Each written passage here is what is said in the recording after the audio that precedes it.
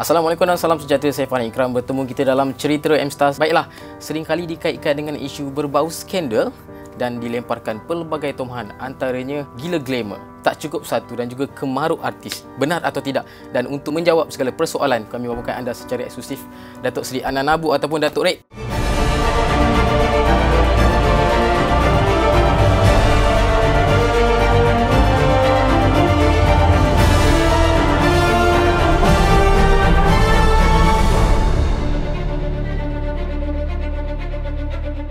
Terima kasih Datuk yeah. sudi hadir ke studio M Star ini. Yeah, yeah. Datuk, saya pasti ramai dah mengenali siapa itu Datuk Red. Tapi cerita di sebalik nama Datuk Red itu sendiri, mungkin Datuk boleh ceritakan lebih lanjut lagi. Sebenarnya yang nama Red tu saya suka merah. Saya tak boleh tengok orang merah kan. kan? Kalau makcik kantin pakai baju merah pun saya suka dengan makcik tu. Saya suka merah. Color merah memang saya suka. Tapi saya buat kat Facebook kalau cakap merah aja tak cantik kan. Jadi saya glamourkan dia, masukkan dia orang putih sikit jadi red. Ah ha, itulah nama nama red. Seperti yang saya sampaikan sebentar tadi itu kan. Mm-hmm. Kemaruk artis. Apa yang Datuk mungkin boleh komen itu? Percintaan dengan artis dan sebagainya. Cantik soalan tu. Sebenarnya orang tengok saya kemaruk dengan artis je. Mm sebenarnya saya pun banyak juga kadang berjumpa dengan orang lain, mm-hmm. mesej dengan orang lain apa semua tak jadi isu pasal mm-hmm. dia orang bukan artis. Mm-hmm. Tapi bila dengan artis ni kadang-kadang bila terkehel sikit je apa semua, jadi isu.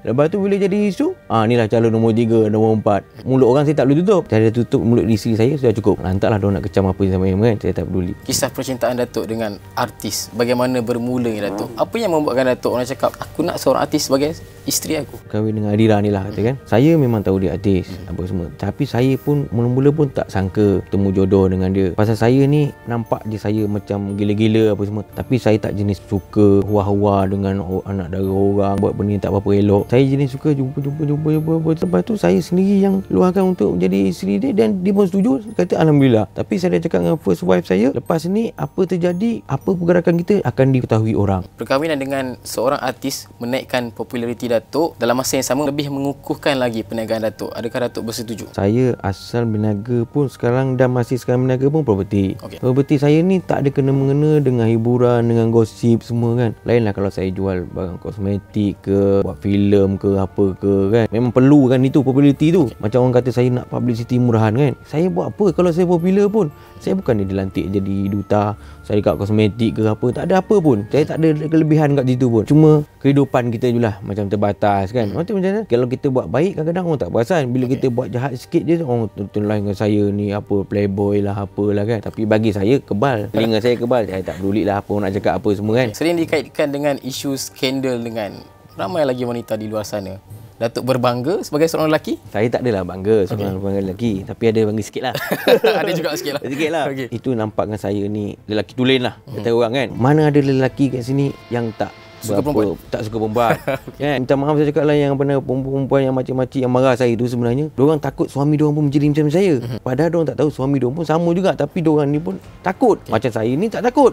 Datuk sebelum ni pada tahun lalu Datuk pernah dikaitkan dengan pelakon baru Ruhainis memberi okay. kesan atau tidak kepada dua lagi isteri? Eh tak ada.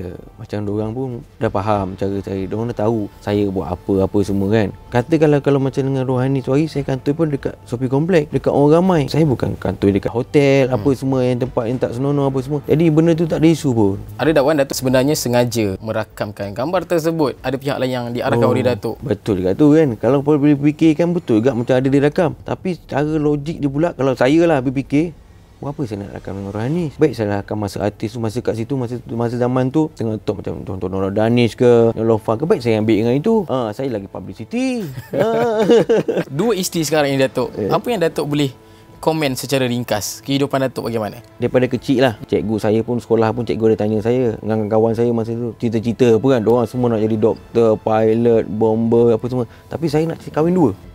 Saya ni lain. Cita-cita saya kahwin dua. Semua kelas semua gelak dengan saya. Okay. uh, Memang saya suka cabaran sebenarnya. Selain daripada bisnes Kita rumah tangga ni pun kita suka cabaran. Tapi kadang-kadang orang bila rumah tangga tu kan tak ada apa-apa Macam biasa je kadang-kadang pun bosan juga. Dia nak ada mengajuk, manja, pujuk. Itu yang seronok tu. Saya ni pencinta wanita Tapi bukan buaya. So Datuk dah berjaya lah sekarang ni? Ha, Alhamdulillah lah cita-cita saya dah tercapai kan. Ada cadangan untuk tambah lagi cawangan? Ha, itulah macam yang orang-orang pun tahu kan. Saya kata tak payah dengar gosip-gosip ni kan. Hmm. Kalau ada betul tak payah cerita banyak, orang-orang tu yang akan pinang kan yang nombor tiga ni. ha, saya nak buat macam tu kan. Ada isu dengan Ruhainis satu okay. ketika dahulu. Baru-baru ini hmm. timbul pula isu dikatakan Datuk bersama dengan seorang pelakon baru Noni katanya Benar atau tidak tu? Apa yang Datuk boleh komen tentang perkara itu? Dengan oh. ceritanya nak jadikan isteri ketiga? Itulah ada kan. Orang semua cakap macam tu. Sebenarnya memang saya ada berhubung dengan Noni. Berhubung tu tak semesti saya berjumpa dengan dia, saya berdating ada tidak. Ada perbualan WhatsApp saja dengan dia kan. Itu saja. Yang bagus si Noni ni pula ni pun bila dah tu dia ceritakan dengan kawan dia Adira pasal okay. orang kan kawan okay. apa semua kan. Supaya ni benda ni tak ada jadi isu apa semua kan. Saya kata okey pasal lagi pun tahu saya tak ada keluar pun tak ada apa. Lepas tu timbul lah bercerita apa semua. Saya ada skandal handle pula dengan Noni. Lepas tu pula dia ada calon saya nombor tiga. Aduh itu yang tak berapa sedap tu. Datuk dah mempunyai dua isteri. Mm-hmm. kenapa agaknya masih berhubung dengan Noni? WhatsApp Noni. Mungkin Datuk boleh komen apa yang dibincangkan eh, dalam perbualan tu? pada saya dengan Noni ni WhatsApp pun bukannya pasal cinta pun mm. bukan pasal apa pun. Ada pasal benda-benda yang kami nak buat. Satu pro, ada benda projek lah apa okay. ada benda lah tu kan. Tapi bukannya melalui hati ke perasaan ke tidak. Ada semua. Saya rasa lebih rapat saya dulu dengan Rohanis lagi. Siap ada buat keluar apa semua. Ini tak ada apa pun tak ada apa pun. Tapi yang bagus tu tak bawa keluar ke? Belum sempat bawa keluar Ha, pun mungkin juga kan?